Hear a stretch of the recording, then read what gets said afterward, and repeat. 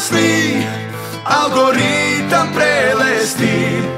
Iskonski bit časov